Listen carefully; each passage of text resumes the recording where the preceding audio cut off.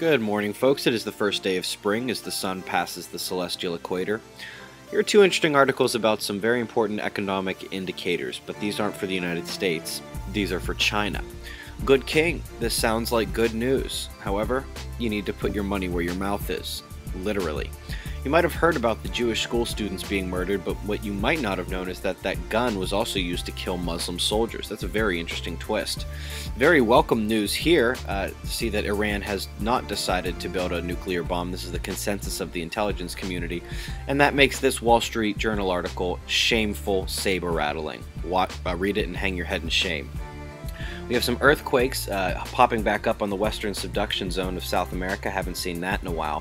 Pretty severe weather in Texas and a little bit up north yesterday. Now watch uh, over there where, where Texas is. You can see these storms just kind of flaring up out of nowhere. And then as soon as uh, as soon as nightfall comes, it turned into that severe weather we had last night. You might remember that just over a week ago, I was saying that Chad Myers at CNN was predicting uh, tornadoes for the Midwest uh, eight, uh, seven days in advance. Well, that is now up, in this area right in here, where that's going to be in the next 12 to 24 hours, is going to be getting hit with severe weather tonight. Be on the lookout. It's right there. Also, a little bit north, uh, we had a power outage up in Canada. They still do not know what caused it. They're still looking for that, so they figured this actually could last a while. Once again, we are seeing some uh, earthquakes in places we don't expect to see them, and we had an avalanche yesterday in Norway where six people uh, were actually killed.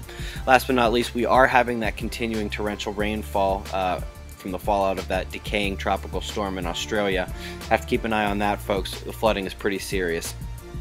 Coming over and looking at the induction magnetometer, folks, the last couple of days have seen these PC1 pulsations, which are uh, definitely anomalous compared to what we normally see on the induction magnetometer. Now, when we have this kind of ion cyclotron radiation out there in the magnetosphere and in the ionosphere, you can pretty much be sure that it's trying to repair itself, so that's good news.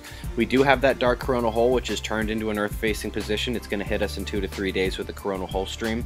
We have a little magnetic filament in the Earth-facing position and a few others that are turning the limb. Some of these solar active regions look like they could put out CMEs. That one actually did put out a little one yesterday, but there's not really a whole lot to watch out for, folks. That's the news. Be safe.